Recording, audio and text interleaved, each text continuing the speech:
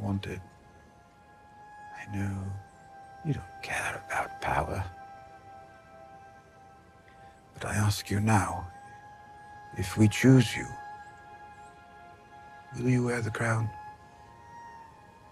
Will you lead the Seven Kingdoms to the best of your abilities from this day until your last day?